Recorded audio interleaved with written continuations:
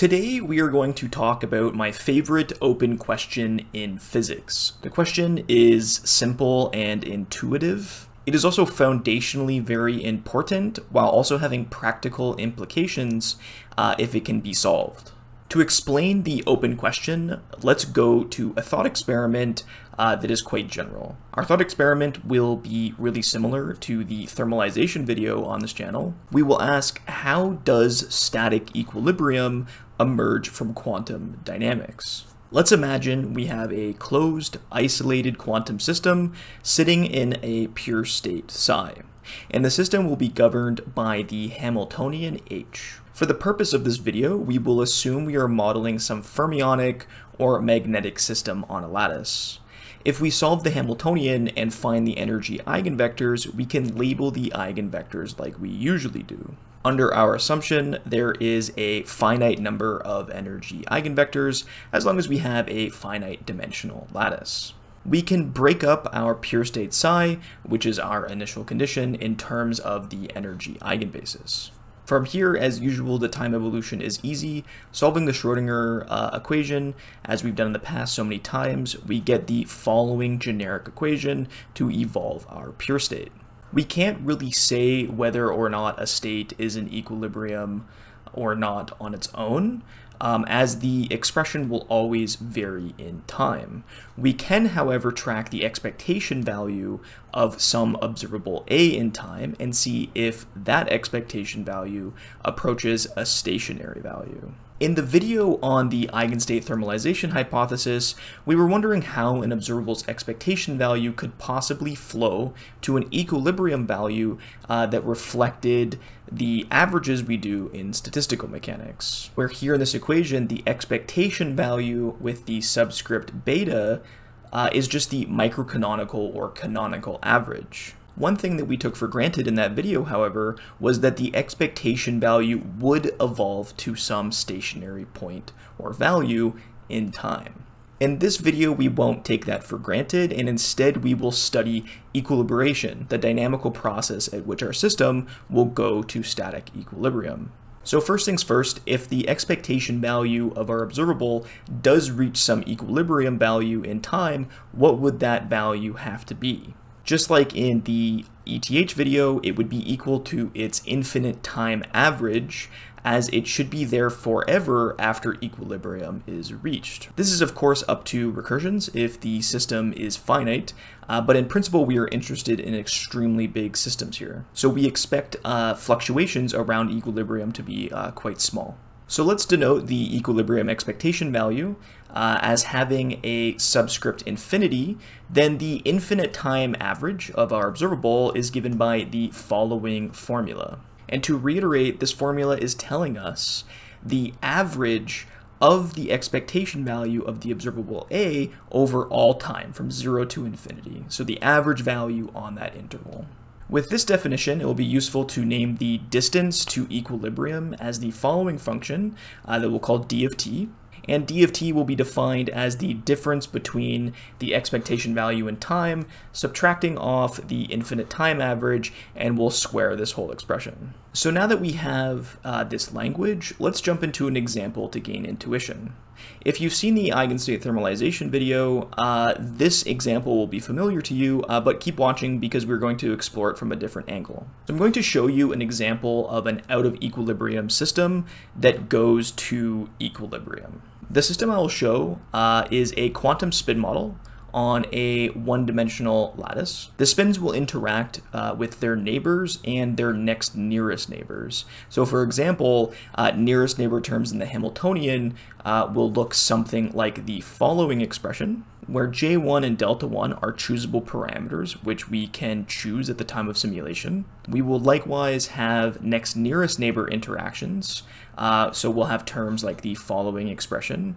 The model is going to be periodic on the boundaries uh, to allow for some extra block diagonalization. So for all of the examples today, we're going to track the Pauli Z matrix as our observable A, and we will put it on lattice site 2. We will initialize our system in such a way that our spins start anti-aligned with their neighbors in the z direction. So we'll have the following state.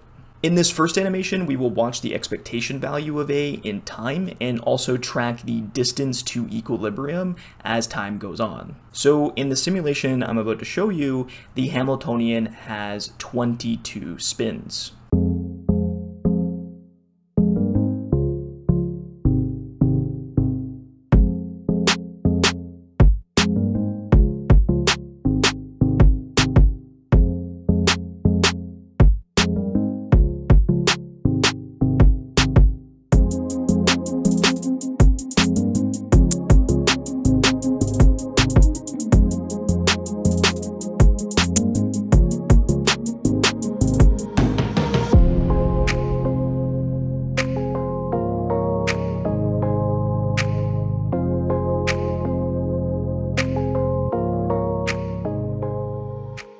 Okay, so that's pretty cool, right? Even for a small system size of 22 spins, we see the dynamics relax with small fluctuations around the equilibrium value. Now, of course, just because this example shows us our observable approaching some static equilibrium type value, this does not guarantee that this type of behavior is generic. We can't just assume that we will always see something that looks like static equilibrium, right? This could be a biased example. In 2008, Reimann, and then later in 2011, Short published articles giving us sufficient conditions for when we expect static equilibrium to emerge. I won't prove the result here, but I will set up the problem and then state the result. First things first, we are going to make an assumption on the energy eigenvalues of our Hamiltonian. That assumption will be that we have non-degenerate energy gaps. So what does this mean? For any four eigenvalues, we will have the following expression.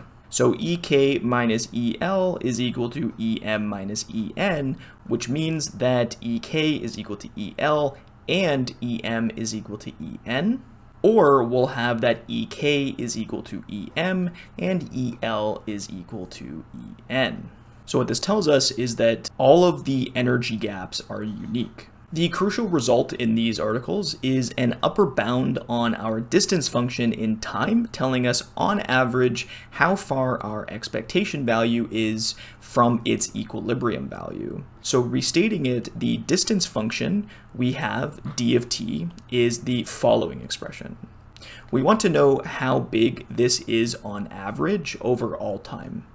We will call this average uh, sigma squared with a subscript a for our observable a. So we're going to take the infinite time average of d of t, and this is given by the following expression.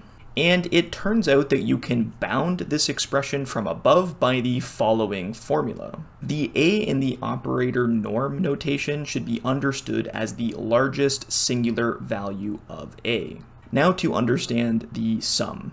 Well, bringing back our definition of the state, the CM terms are our probability amplitudes for our eigenstates, and the CM modulo squared would be the probabilities. So in the summation, we see that we have the squares of the probabilities all summed up then the intuition is the following. If we have a lot of energy eigenstates participating in the dynamics in a meaningful way, meaning that the corresponding CMs aren't too small relative to the other ones, then the sum of the squares of the probabilities should be extremely small. And for a lot of situations, that seems to be the case. This expression, or this upper bound, can also be understood in terms of purity. Let's define the density matrix rho as the following expression, so the outer product of our pure state psi. Expanding this in the energy eigenbasis, we get the following expression. So due to our assumption on the energy eigenvalues and the non-degenerate uh, gaps, the only terms in the expression that are independent of time are the ones where m and n are equal.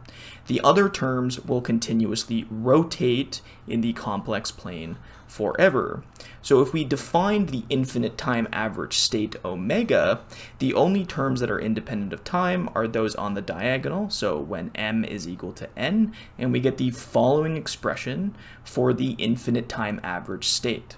So this is a mixed state that we call the diagonal ensemble, which gives us the infinite time expectation value of our observables. So for example, we could rewrite the infinite time average of the expectation value of our observable A in the following way in terms of omega. We can then look back at our bound and we could rewrite it in terms of the purity of omega. So that was definitely a long-winded explanation, uh, but the moral of the story is as long as we have a lot of energy eigenkets participating in the dynamics, and there aren't a few energy eigenkets with extremely large weight uh, all on their own, we should eventually see static equilibrium.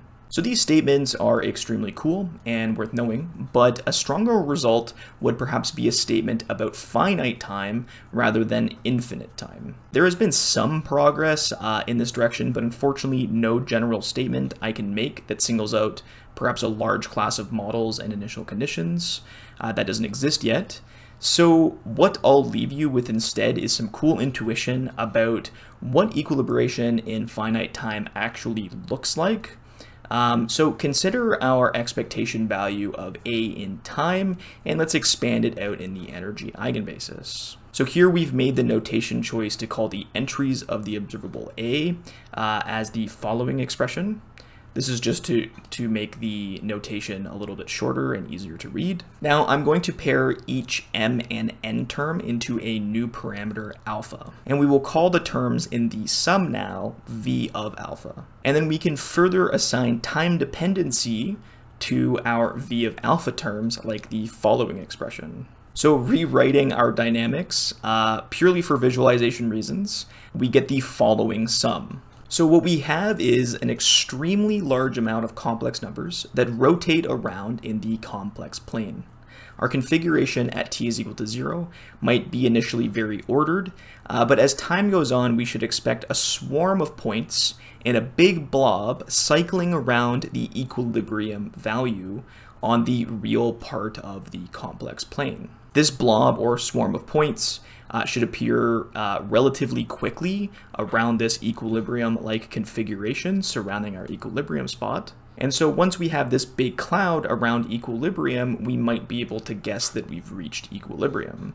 Since our expectation value is always real, the image should be symmetric with respect to reflections uh, about the real axis. So just for fun, let's actually watch uh, one of these big sums in action, or instead we're going to track each individual V alpha point uh, in time. So let's get back to our example with our spin chain and our observable A. In this case, uh, we will only show the complex numbers rotating in the complex plane for 18 spins. This animation uh, processed over 100 gigabytes of data. Uh, so any system size higher was quickly filling up my memory. I couldn't go farther than this, unfortunately. But without further ado, let's watch equilibration in action.